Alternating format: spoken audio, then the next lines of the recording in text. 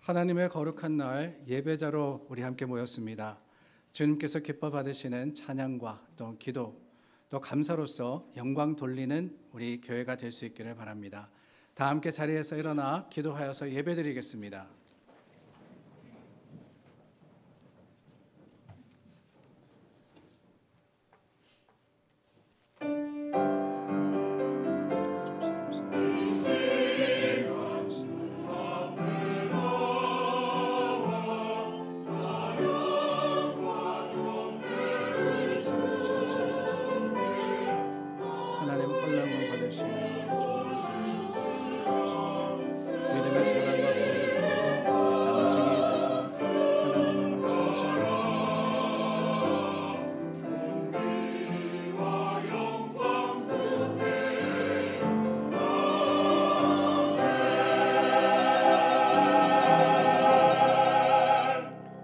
찬송하라. 하나님을 찬송하라.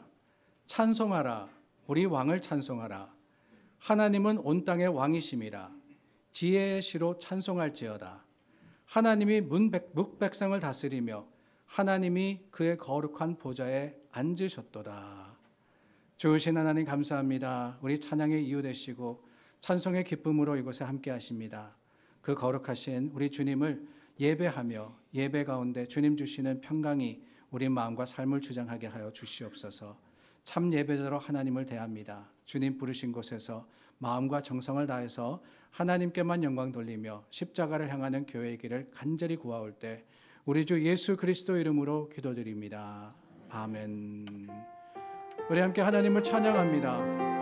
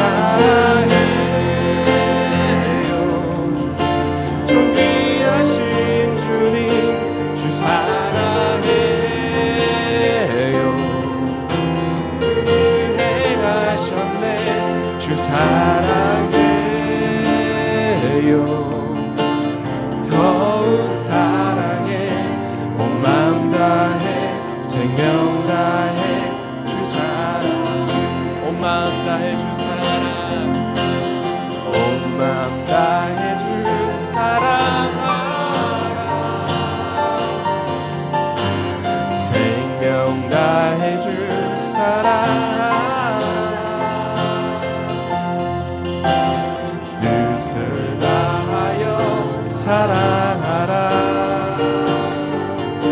온 마음 다해 생명 다해 주 사랑 마음을 다해 다시 한번 온 마음 다해. 온 마음 다해 주 사랑하라. 생명 다해 주 사랑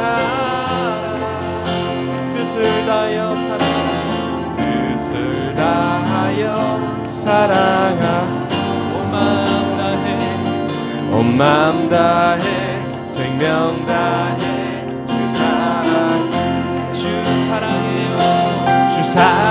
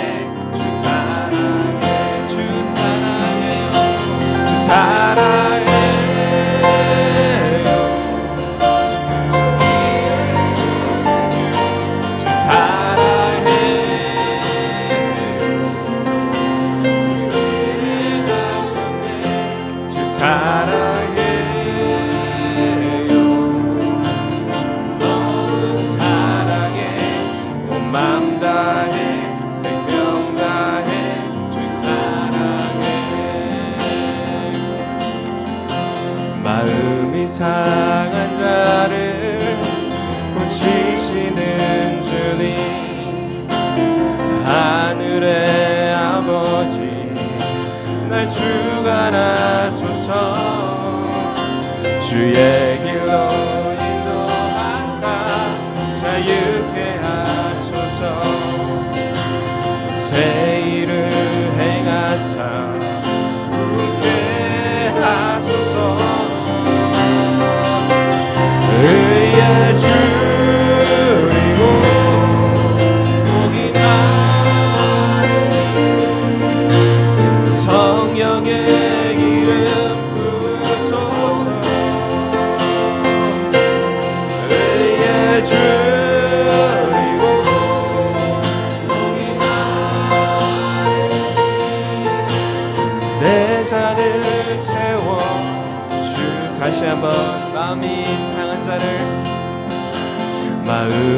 상한 자를 고치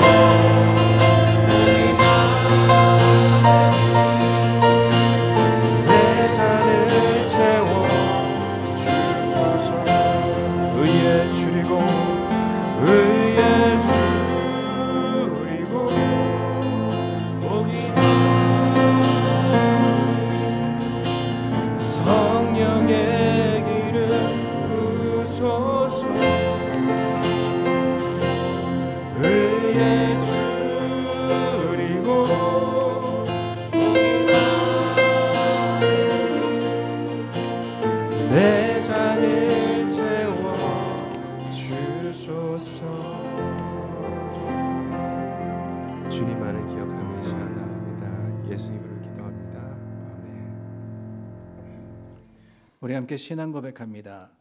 전능하사 천지를 만드신 하나님 아버지를 내가 믿사오며 그 외아들 우리 주 예수 그리스도를 믿사오니 이는 성령으로 잉태하사 동정녀 마리아에게 나시고 본디오 빌라도에게 권한을 받으사 십자가에 못 박혀 죽으시고 장사한 지 사흘 만에 죽은 자 가운데서 다시 살아나시며 하늘을 으사 전능하신 하나님 우편에 앉아 계시다가 저리로서 산자와 죽은 자를 심판하러 오시리라 성령을 믿사오며 거룩한 공회와 성도가 서로 교통하는 것과 죄를 사하여 주시는 것과 몸이 다시 사는 것과 영원히 사는 것을 믿사옵나이다. 아멘. 십자가에 베풀어 주신 하나님의 사랑과 그 극률하신 은혜를 기억하건대 우리가 이 시간 함께 회개하여서 기도할 때 주님께서 우리 죄를 용서하실 것을 확신합니다. 기도하겠습니다. 좋으신 하나님 감사합니다. 우리 연약하고 부족하나 하나님 우리를 극률히 여기시고 불쌍히 여기셔서 우리로 하여금 새롭게 하심을 확신합니다. 주님 우리 죄를 주님께 맡깁니다. 하나님을 그 놀라운 은혜와 말씀 가운데 주님의 발 아래 다 내려놓습니다. 주님 그 죄가 우리의 마음과 삶을 무겁게 짓누르고 있어도 여전히 우리는 세상 속에 괜찮다고 나는 할 수 있다고 생각하고 교만으로서 살아가진 않았었는지 주님 우리 교만한 모습 주님께서 아시고 주님 우리를 탓하시기보다는 불쌍히 여기셔서 성령으로 감동 감화시켜 주시니 주님의 시간 깨달은 자들 그 죄를 주님의 발 아래 아버지 십자가 아래 놓을 때 하나님께서 보혈의 역사로서 그 보혈의 극렬하신 사랑이 우리를 덮을 때 주님 이제 더 이상 아버지여 주님 죄 구속되어서 살아가는 것이 아니라 하나님께 속하여서 자유한 자로 살아가는 믿음의 사람들이 되게 하여 주시옵소서. 주님께 맡깁니다. 우리 죄를 고백합니다. 아버지 우리 연약합니다. 우리 부족합니다. 넘어지고 쓰러집니다. 주님 늘 실패하고 돌아서며 좌절합니다. 그러나 주님 우리를 아버지여 참 아버지 불쌍히 여기시는 그 하나님의 긍휼하신 사랑이야말로 우리로 하여금 새 힘이 되고 새 능력이 되어서 아버지 넘어진 그 자리에서 일어설 수 있음을 우리가 확신하건대 주님만을 바라며 주님과 함께 동행하기를 기뻐하는 하나님의 백성이 되게 도와주시옵소서. 주님 우리를 지켜주시고 인도하여 주시고 우리로 하여금 하나님을 바라게 하여 주시옵소서.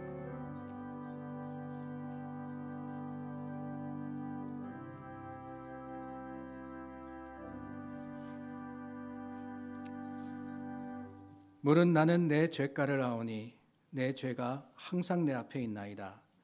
내가 주께만 범죄하여 주의 목전에 악을 행하였사오니 주께서 말씀하실 때에 의로우시다 하고 주께서 심판하실 때에 순전하시다 하리이다. 하나님의 용서의 선포가 오늘 저와 여러분들의 믿음의 자랑임을 확신하시기를 바랍니다. 다 함께 자리에 앉아 찬송가 214장 부릅니다.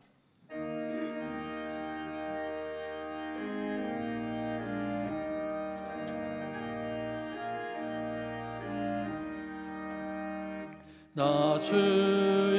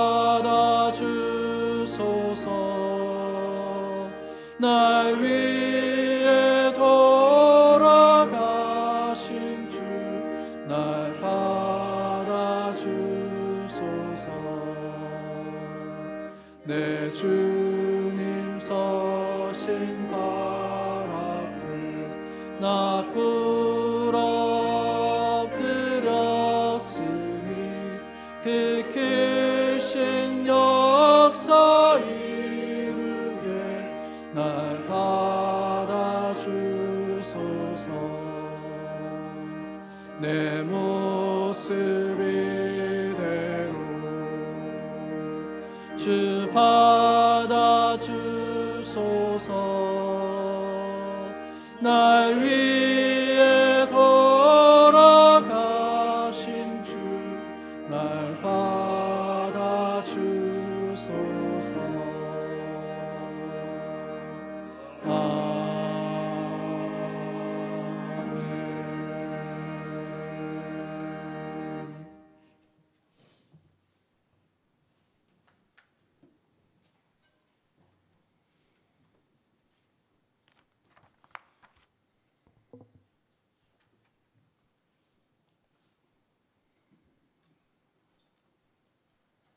사랑의 하나님 아버지, 주님 전에 저희를 불러주시고 주님께 경배와 찬양을 드리게 하시니 감사합니다.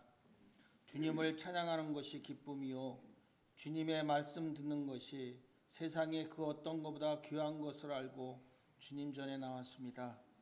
이 시간 우리의 세상 모든 시름을 주님의 십자가 앞에 다 내려놓습니다. 주님이 주시는 평화와 안식을 누리게 하소서. 생각해 보면 지난 엿새 동안 사고의 위험, 건강의 위험, 돈의 유혹, 천재지변 등이 우리를 불안하게 했지만 우리는 안식을 누릴 수 있었습니다. 이 모든 것이 주님의 선하심을 믿고 하늘의 소망을 두고 사는 믿음 덕분인 줄 알기에 주님께 감사드립니다. 하늘의 소망을 주신 주님께 늘 감사하며 살아야 하건만 우리는 드리기보다 받기만을 즐겨하는 자들입니다. 남들보다 좀 더 가지고 더 많이 이루기 위해 앞만 보고 달려온 인생들을 불쌍히 여겨 주소서. 우리의 생각과 욕심으로 주님을 욕되게 하는 일이 없게 하소서. 낮은 자리에 기꺼이 서고 베풀고 성기를 투자하지 않으며 작은 자, 힘든 자, 어려운 자, 소외된 자 하나하나를 소중히 여기는 우리가 되게 하소서. 더 낮은 곳에서 사랑하며 믿음이 깊어질수록 더 비워내기를 원합니다. 능력이 한이 없으신 주님, 우리 교회가 말씀의 진리 안에서 우뚝 서게 하소서. 주님 안에서 일치를 이루게 하시고 그리스도의 몸으로서 사명을 잘 감당하게 하소서. 세상의 어둠을 몰아내고 이 나라와 사회에 밝은 빛을 비춰 세상을 아름답게 하는 교회가 되게 하소서. 영육이 영약하여 고통받는 성도들을 기억하시고 그들에게 건강을 허락하여 주옵소서. 주께서 인간을 이토록 연약하게 지으신 것은 우리를 통해 더 큰 영광을 받기 위함인 줄 믿사오니 연약한 지체들을 통해 하나님의 능력이 나타나기를 간절히 사모합니다. 지난 날의 원망과 불평을 하나님의 계획 아래 온전히 내려놓습니다. 지금껏 온전히 인도하신 하나님의 은혜를 감사하며 주님을 찬송합니다. 이번에 새로이 모임을 구성한 각 공동체마다 새로운 일꾼을 뽑았습니다. 각 공동체의 리더들이 수고하는 일마다 좋은 결실을 맺게 하시고 발전하게 하여 주셔서 우리 교회에 주신 큰 뜻을 이루어 드리기에 부족함이 없는 새 일꾼들로 거듭나길 간절히 소망합니다. 주의 말씀 가지고 강단에 서신 목사님께 성령의 능력을 부어 주셔서 폭포수 같은 은혜가 우리 심령 위에 채워지게 하옵소서. 말씀의 은혜가 우리 모두에게 전해져 말씀의 깊이와 은혜를 깨닫게 하소서. 우리의 입술로 주님을 전하는 삶을 살기 원합니다. 강단을 보혈의 능력으로 채워 주셔서 말씀을 통해 하나님을 보게 하시고 주님을 만나게 하옵소서. 찬양으로 영광을, 영광을 돌리는 성가대와 찬양대를 축복하셔서 그들의 찬양에 하나님의 영광이, 영광이 충만하게 하시고 주의 거룩함이 넘치게 하옵소서. 찬양 가운데 주님의 은혜의 강물이 흐르게 하시고 마음과 육신이 온전히 주님으로 채워지게 하옵소서. 예배의 처음과 끝을 주님께서 붙잡아 주시고 크게 영광을 받으실 줄 믿습니다. 우리 구주 예수님의 이름으로 기도합니다. 아멘.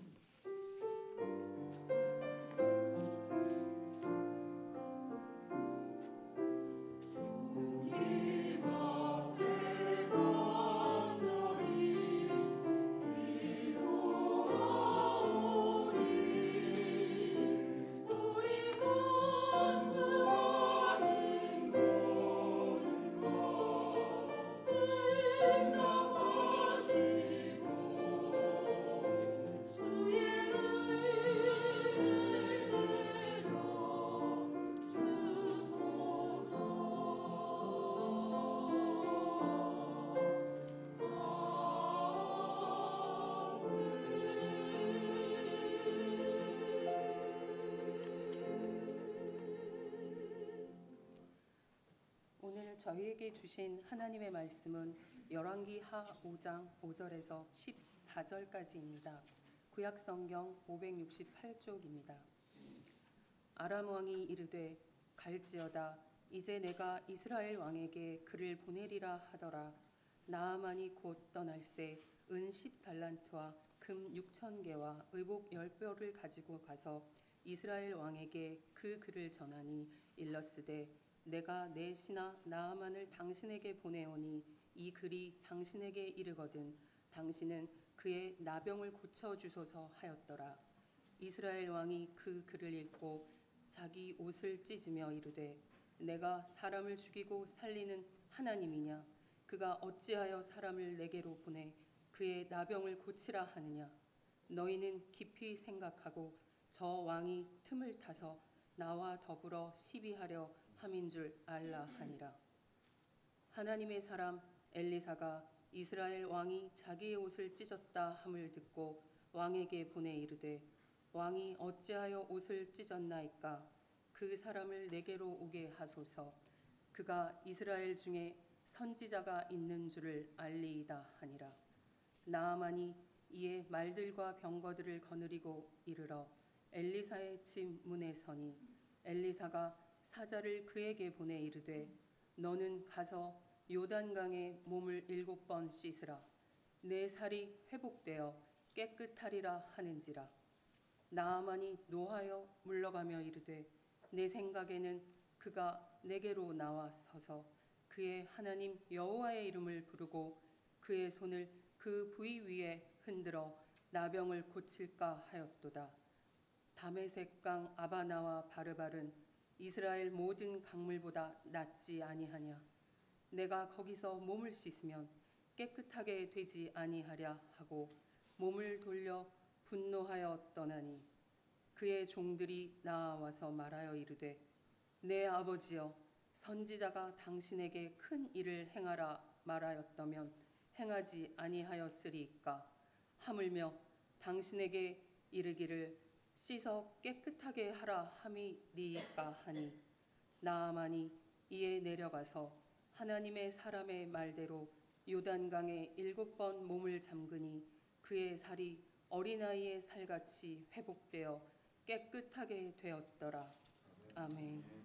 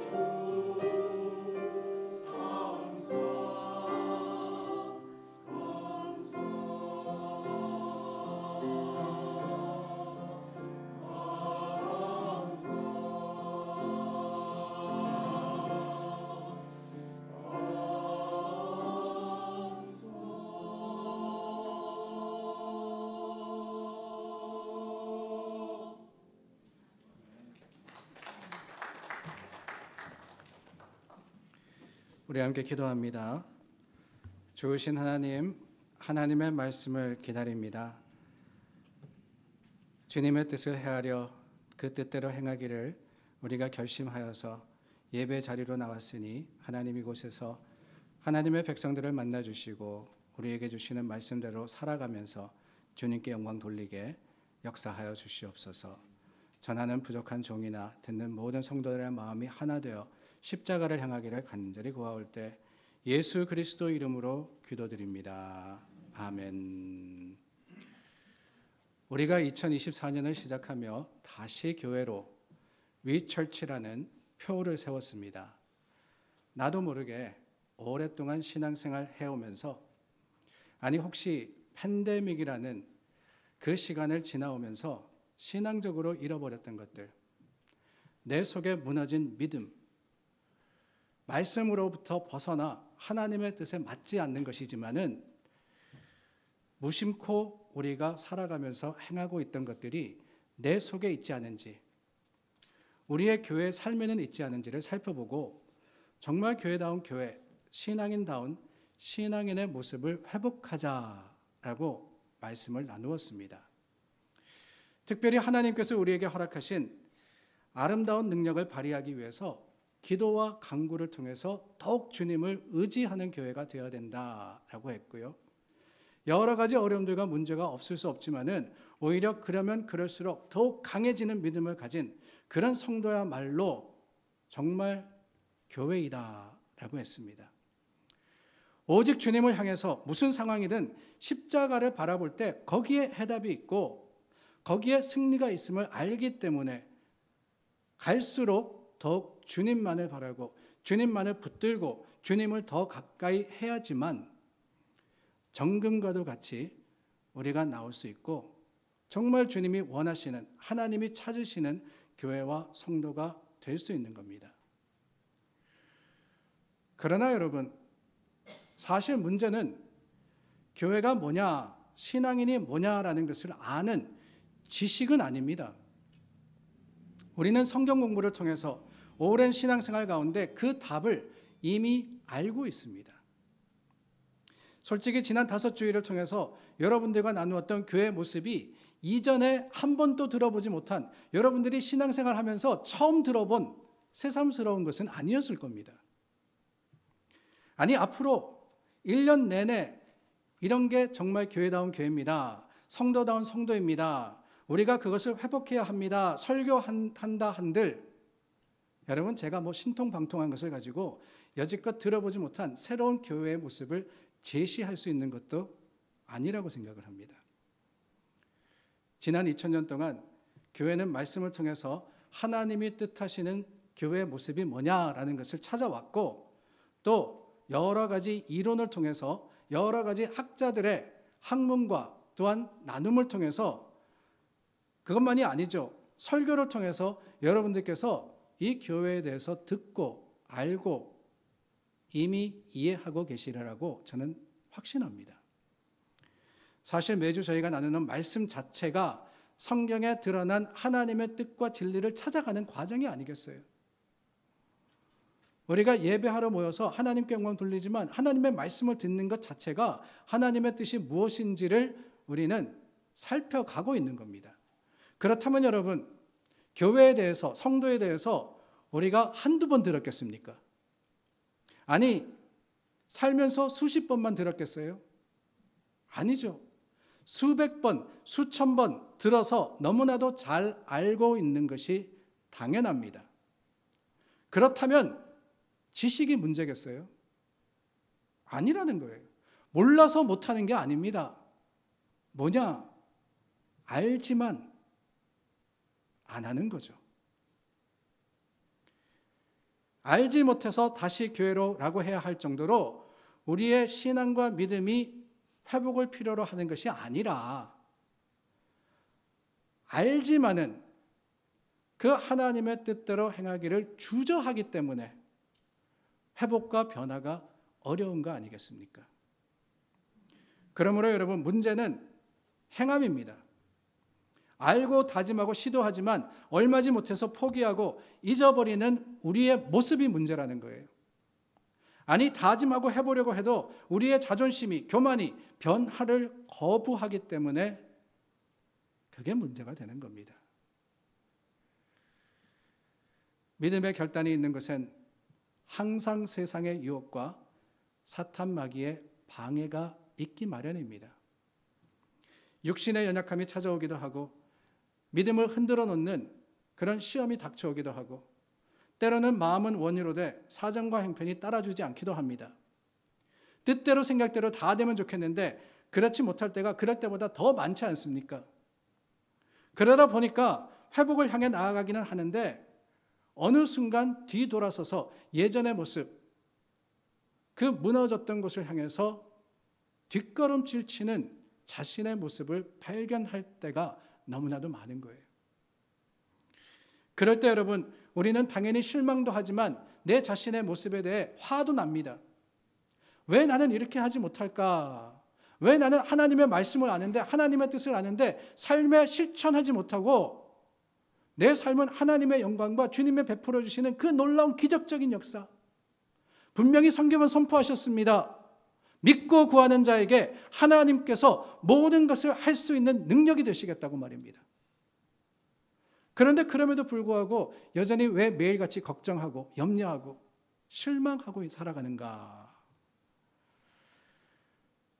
왜 하나님의 뜻대로 하나님 말씀 따라 사는 삶을 살려고 하지만 여전히 여러 가지 문제와 어려움들 가운데 실패하고 좌절하는지 스스로에 대해서 실망하기도 하고 어쩌면 더 나아가서는 우리를 완전하게 돕지 않으시는 것만 같은 그 하나님께 대한 항명으로 이어지기도 하는 거예요. 우리가 새 마음과 새 모습으로 다짐하며 한 해를 시작했지만 여러분 오늘이 며칠입니까?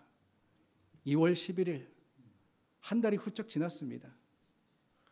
우리의 신앙과 우리의 삶은 얼마나 변화되었습니까?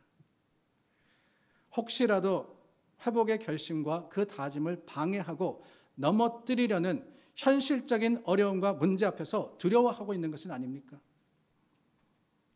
어떻게 해야지 하나님의 그 약속을 완전하게 성취할 수 있고 어떻게 해야지 회복의 기쁨과 감격을 맛볼 수 있느냐? 그 해답을 우리는 본문에서 찾아봅니다. 오늘 본문은 나만의 나병이 치유되는 사건을 기록하고 있습니다. 5장 1절 말씀입니다. 아람 왕의 군대 장관 나아만은 그의 주인 앞에서 크고 존귀한 자니 이는 여호와께서 전에 그에게 아람을 구원하게 하셨습니다. 그는 큰 용사이나 나병 환자이더라. 성경은 나만을 소개할 때 그의 두 상태를 대비해서 보여줍니다. 먼저는 왕의 총애를 받는 군대 장관이었다 그랬어요. 왕을 구원하는 아람을 구원하는 큰 일을 한 사람입니다. 영웅이었어요. 존귀한 자였으며 또한 군대 장관 모든 권세와 권력을 가진 자였습니다. 그런데 안타깝게도 1절 마지막에 가서 한 구절이 나오는데 뭐라 그러느냐? 그는 나병 환자이더라 라고 했습니다. 나병 한센병이라고 하기도 하고 예전에는 문둥병이라고 불렀죠. 살이 썩어져가는 불치병입니다. 이 나병이라는 한 가지 심각한 문제, 그 앞에 길게 나만이 누구라는 것을 다 설명했지만 결국에 뭐냐? 이 나병이라는 문제가 나만이 가진 모든 것을 무너뜨렸다고 이야기하시는 거예요. 권세가 있다고 지위가 높다고 무슨 소용이 있습니까? 아무리 뛰어나고 아무리 존귀한 사람이라도 그 한 가지 문제 앞에서는 나만은 그저 무기력한 존재일 수밖에 없었습니다. 자신이 가진 모든 것으로 그 병을 고쳐보려고 했겠죠. 돈이 없어서 그랬겠습니까? 아니면 힘이 없어서 그랬겠어요? 자신의 능력, 그 능력을 가지고 어떻게든 나병을 낫게 해보려고 했을 겁니다. 그러나 결국 어찌할 수 없었을 때, 그때 나만이 과감한 결단을 하게 됩니다. 다름이 아니라 전쟁에서 노예로 사로잡아온 이스라엘의 어린 소녀를 통해서 한 가지 이야기를 전해드렸습니다. 저 이스라엘이라는 나라에 가면은 선지자가 있는데 그가 그가 이스라엘이 믿는 하나님의 이름으로 병도 고치고 별의별 일을 다 합니다 라고 들었던 거예요. 그래서 이스라엘을 향해서 떠납니다. 근데 여러분 이게 정말 어려운 일입니다. 강대국이었던 아람의 군대 장관, 나라의 영웅이었습니다. 그런데 그 장관이 약소국 이스라엘의 신, 이스라엘이라는 나라, 그 작은 나라가 믿는 신의 도움을 받기 위해서 그 나라를 방문한다? 당시의 통념을 깨는 행동이었어요. 그 당시는 강대국이면 강대국일수록 그 나라가 믿는 신이 더 힘이 있고 더 권위가 있고 더 능력이 있다라고 믿었습니다. 그 아람이 믿는 신에게 나만이 한두 번 빌었겠어요. 그런데 그 강함과 그 능력을 다 포기하고 어디로 가느냐? 초라한 곳 이스라엘을 향해서 자신의 치료와 회복을 위해서 나아간 거예요. 그것도 엄청난 예물을 가지고 말입니다. 마침내 엘리사 선지자의 진문 앞에 섰습니다. 엘리사를 만나면 회복되리라는 확신을 가지고 그 먼 길을 왔습니다. 이제 저 엘리사가 나와서 고쳐주기만 하면 되는 거예요. 그러나 그것에서 이 나아만은 예상과는 전혀 다른 상황을 경험합니다. 자신을 지극하게 환대해 주어야 할 엘리사는 문 밖을 내다보지도 않아요. 사원을 내보냅니다. 그 집에서 일하는 종을 내보내다가 요단강에 가서 일곱 번 씻으라 말할 뿐이었습니다. 여러분 어떻습니까? 그 금은 보화를 다 가지고 권세 있는 자가 이스라엘의 한 선지자를 찾아왔는데 쉽게 말하면 문전박대 당한 겁니다. 가라. 그냥 가서 씻으라. 이 엘리사의 태도에 나아만이 분노하죠. 11절입니다. 나아만이 노하여 물러가며 이르되 내 생각에는 그가 내게로 나, 나와서서 그의 하나님 여호와의 이름을 부르고 그의 손을 그 부위 위에 흔들어 나병을 고칠까 하였도다. 엘리사가 직접 마중 나와 하나님의 이름을 부르며 자신의 환부에 손대어 흔들어서 기도하는 그 성대한 의료 의식을 그 치료 의식을 행해 주는 게 당연하다라고 생각을 했습니다. 그의 생각은 너무나도 당연하고 마땅한 것이었어요.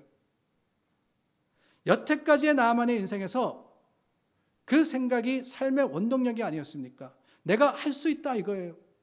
내게 권력이 있다는 겁니다. 승승장구했습니다. 생각만 하면은 밑에 사람들이 듣고 행하고 따르지 않았습니까? 즉, 그의 삶은 내 생각이 이끄는 삶이었다는 거예요. 그런데 그날만큼은 그의 생각과 하나님의 생각이 매우 달랐습니다. 그리고 그 다름은 나만으로 하여금 실망하게 하였고 결국 어떻게 했다고요? 노하여 물러가며 라고 했습니다. 물러가며 돌아갔다는 거예요. 그 먼 길을 왔는데 엘리사의 집 문 앞에 섰는데 아니 요단강에 가서 일곱 번 씻으라는 말을 들었음에도 불구하고 자신의 생각과 자신이 원했던 방법과 지금 현실이 너무나도 달랐을 때 어떻게 하느냐 물러가며 왔던 길을 되돌아가기 시작하는 거예요. 나아서 간 게 아닙니다. 여전히 나병이 몸을 뒤엎고 있음에도 그냥 그 모습 그대로 돌아갑니다. 회복을 위해 왔지만 어땠어요? 나음보다는 자존심이 더 셌던 거예요. 노하여. 구절에 보니까 엘리사를 찾아온 나아만은 말과 병거를 거느리고 엘리사의 집 문 앞에 섰다 그랬습니다.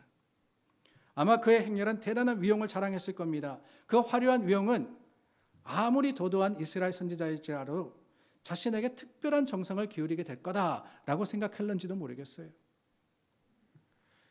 치료받아야 할 환자로서가 아니라 아람 군대 장관으로서 엘리사의 문 앞에 섰던 것이지요. 비록 치료를 위해서 자존심을 꺾고 이스라엘로 가는 출발은 했는데 나음을 위해서 그 변화를 위해서 그 길을 떠나기는 했는데 여전히 자존심이 남아 있던 겁니다. 여전히 내 생각이 앞서 있던 것이지요. 그럼으로써 오히려 깊은 곳에 있는 자기의 문제는 보지 못했습니다. 아무리 화려한 행렬을 끌고 가면 뭐합니까? 아무리 군대 장관이면 뭐예요? 아무리 힘이 있고 권세가 있으면 뭐합니까? 그 행렬 가운데 나아만은 여전히 나병으로 고통받고 있는 치료가 필요한 연약한 존재. 한낱 초라한 병자일 뿐인데요.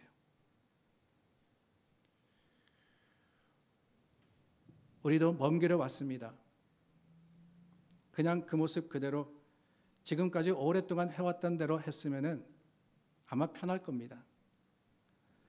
뭘 대단하게 하겠다고 다시 교회로 그러면서 신앙과 삶의 모습을 바꾸자, 애쓰자.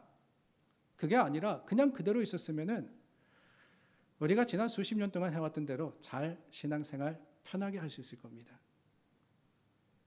그런데 여러분, 내 속에 무너진 것이 있고 내 안에 연약한 것이 있는 것을 깨달았을 때 그것이 하나님의 뜻과 계획에서 멀어져 있는 모습임을 알게 될 때 회복을 위해서 우리는 결심하여 주님 앞에 섰지 않습니까? 그런데 여러분, 정작 변화와 회복을 위한 결심이 있는 곳에 마음 먹은 대로 회복되어지면 좋은데 그게 아니더라는 거예요. 내 생각대로 모든 것이 잘 되면 좋을 텐데 그러지 않습니다. 문제가 생기기도 하고 예상치 못했던 장애물이 가로막기도 하고 하나님은 도무지 응답하시지 않는 것 같아 보이는 그런 상황을 만나기도 합니다. 마치 그 먼 길을 엘리사를 만나러 회복되러 왔는데 만나기는커녕 말도 되지 않는 이해되지 않는 그 명령만 들었을 때 나만에게 실망은 물론이거니와 자신의 상황에 대해서 분노하고 포기하며 돌아설 수밖에 없는 그 자존심과 고집과 그 자만이 우리 가운데 있더라라고 하는 거예요.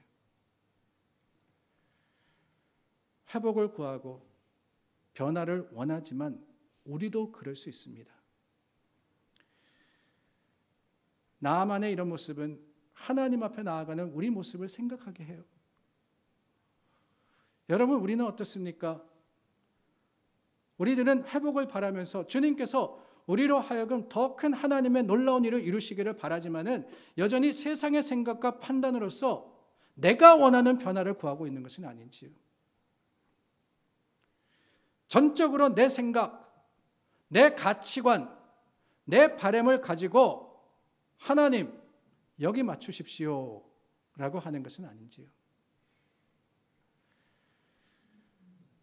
회복 그러지만은 내가 원하는 것이 이루어지기를 원한다면은 그것은 진정한 회복의 소망이 아니라 어쩌면은 내 욕심이자 내 고집이 아닐 수가 없는 겁니다.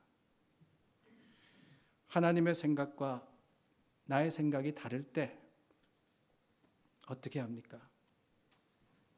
나아만은 자신과는 다른 하나님의 생각 앞에서 분노했습니다. 그러나 여러분, 그가 필요했던 것은 분노가 아니라 포기와 수용이었죠. 엘리사의 반응에 분노하였다는 나아만에게 종들이 만류했습니다. 얼마나 감사한 일인지요.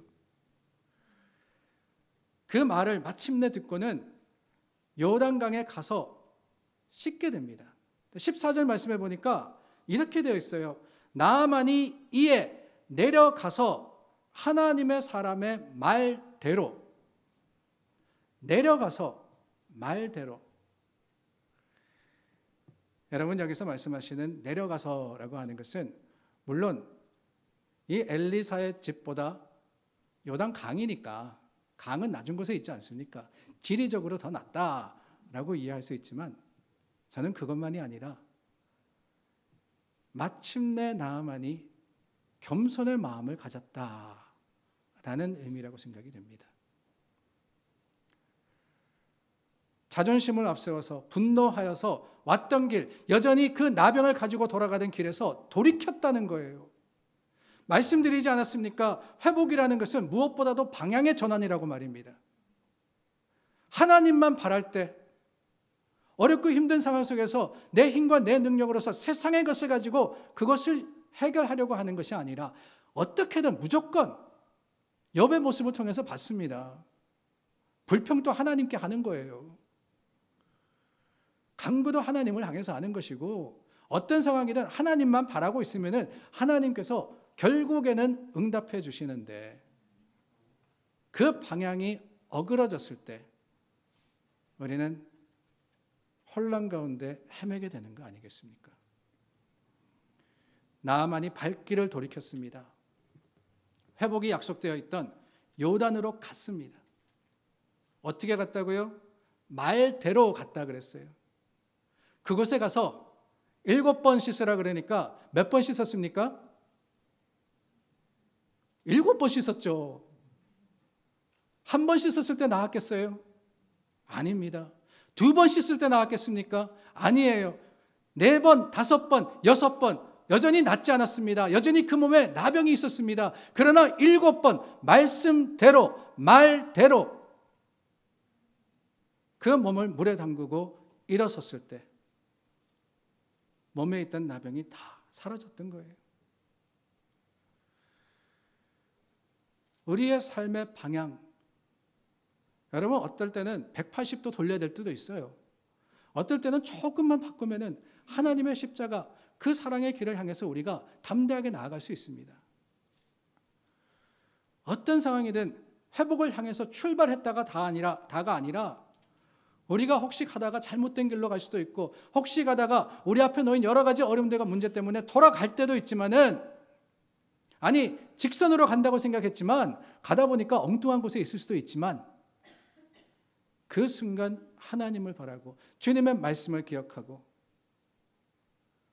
돌이켜 겸손의 그곳을 향해서 갈 때 그 끝에 무엇이 있습니까?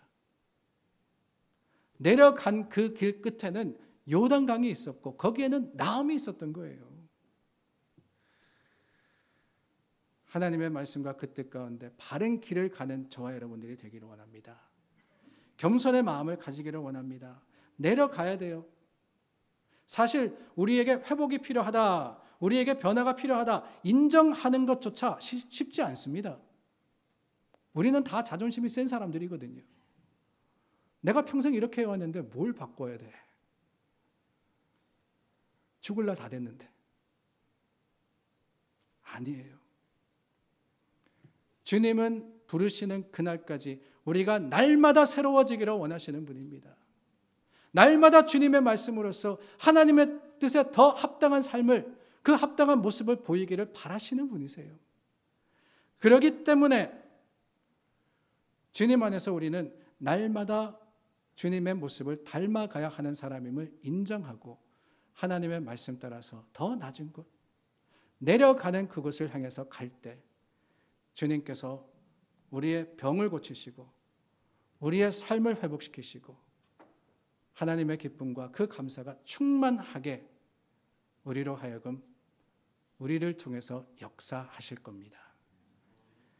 변화는 결코 쉽지 않습니다. 그게 아무리 옳은 것이라 할지라도 바른 것이라 할지라도 방향을 바꾸는 것 자체가 참 어렵습니다. 그렇기 때문에 우리는 더욱 주님을 의지하여서 하나님이 원하시는 길, 주님이 찾으시는 교회다움과 성도다움을 회복하기 위해서 주님께 모든 걸 맡겨야 됩니다. 방향이 바뀌지 않으면 절대로 달라지지 않아요. 오늘 우리는 주님을 향해 회복을 바라며 주님의 뜻을 행하는 교회가 될 수 있기를 예수님의 이름으로 간절히 소망합니다. 기도하겠습니다. 참 좋으신 하나님, 2024년을 시작하여서 한 달이 지나 이제 둘째 달, 둘째 주일이 되었습니다. 주님, 지난 6주간을 돌아보건대 우리가 과연 하나님의 말씀대로 살아왔는지, 하나님의 뜻을 행하면서 주님의 그 거룩하심에 더욱더 가까워졌는지 우리 자신을 돌아봅니다.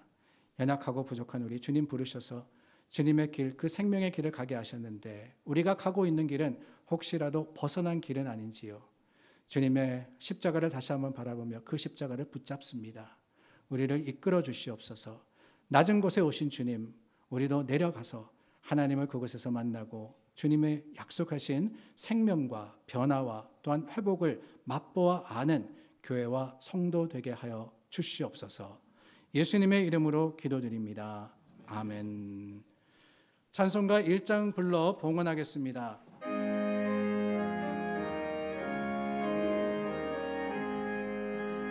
만복의 근원 하나님 온 백성 찬송 드리고 저 천사여 찬송하세. 찬송 성부 성자 성령. 아멘.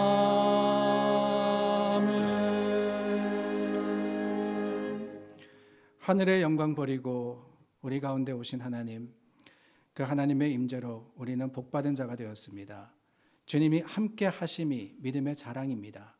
오늘도 우리를 떠나지 아니하시는 그 하나님의 인도하심을 따라서 여기까지 왔으니 주님께 감사하며 하나님께서 맡겨주신 사명을 우리가 잘 감당하기 위해서 헌신하고 봉사하고 주님을 위해 드리는 자들이 되게 하여 주시옵소서.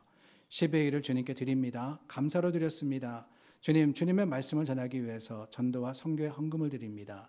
구제로 또한 우리 나눔으로써 함께 할 때 하나님께서 하나 되는 교회 되게 하여 주시고 이 모든 것들을 통해서 하나님의 하시는 일을 우리가 자랑하고 기뻐하며 감사하는 하나님 백성 삼아 주시옵소서. 주님께 드린 손길 부끄럽지 않도록 갚으시며 하나님의 것으로서 충만하게 하시기를 원하올 때 예수님 이름으로 기도드립니다. 아멘. 자리에 앉으시겠습니다. 오늘 수요일은 2월 14일입니다. 여러분 2월 14일은 무슨 날이죠? 젊으신 분들은 잘 아시던데 발렌타인스데이가 2월 14일이잖아요. 앞에 보시면은 오늘 우리 정미애 권사님께서 꽃도 일부러 저렇게 꽂으신 것 같아요. 하트 모양으로 꽂으셨는데 2월 14일은 그렇습니다. 우리가 서로에게 사랑을 고백하는 날이다라고 하죠. 그런데 교회에서는 2월 14일 오는 수요일이 굉장히 또 특별한 날입니다.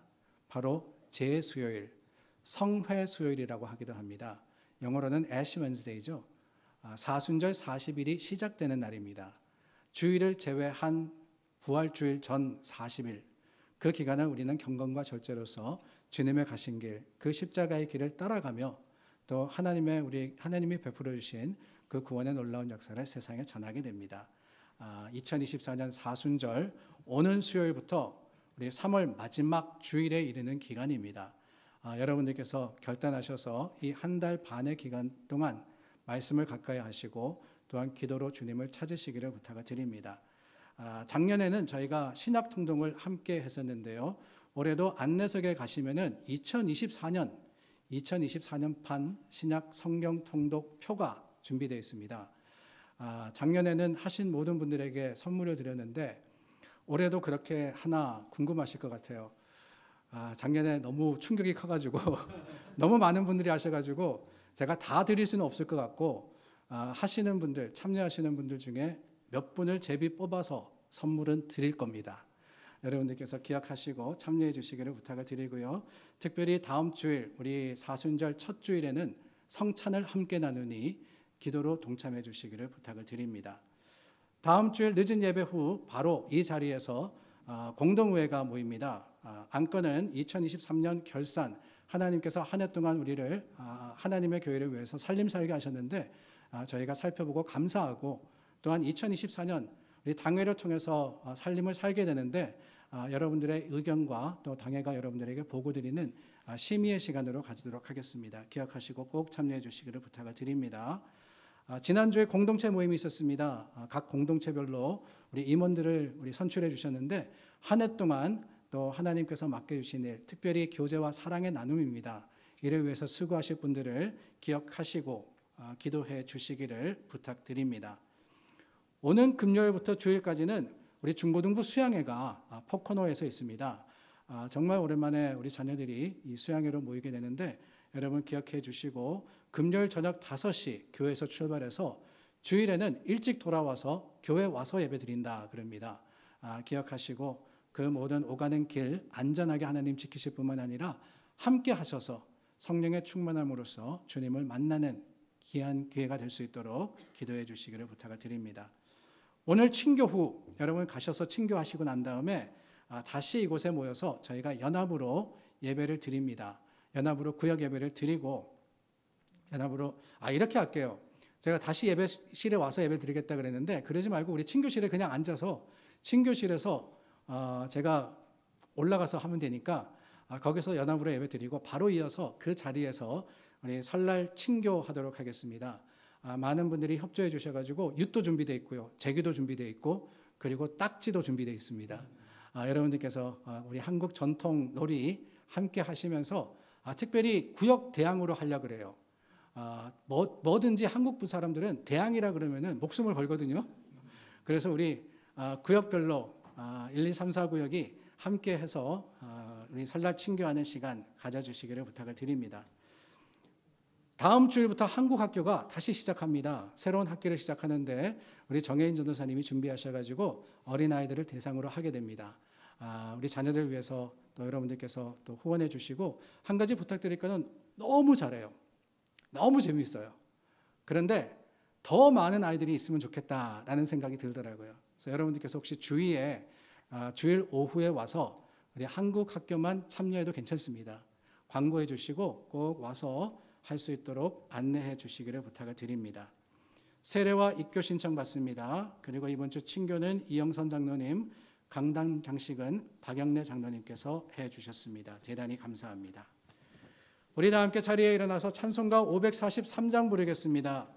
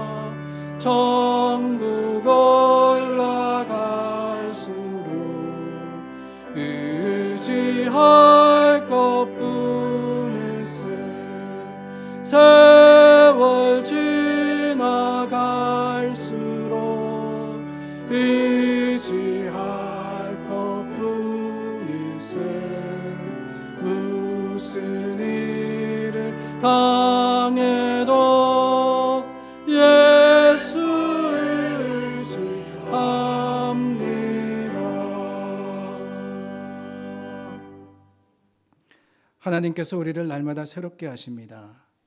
주님의 모습을 닮아가는 것, 주님의 뜻을 행하며 하나님 가신 그 길을 가는 것, 그것이 바로 교회의 사명이며 교회의 본질입니다.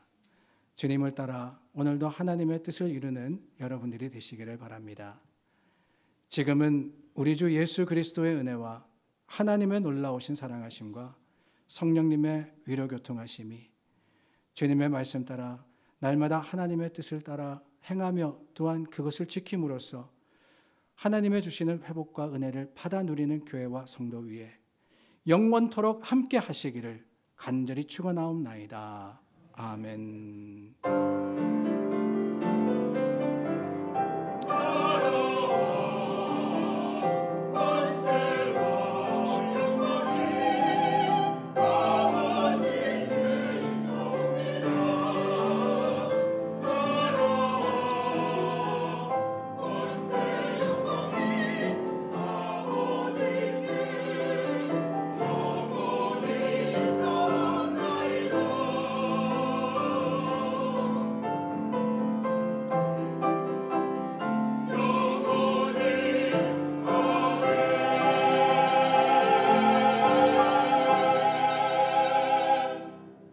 담대하게 세상을 향해 나아갑니다. 살아계신 주 찬양하겠습니다.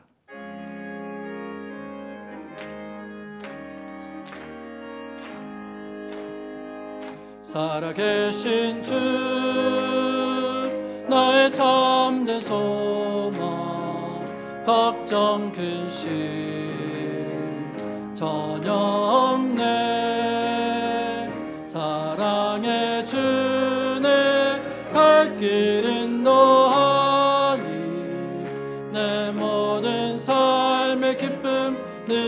살아계신 주. 살아계신 주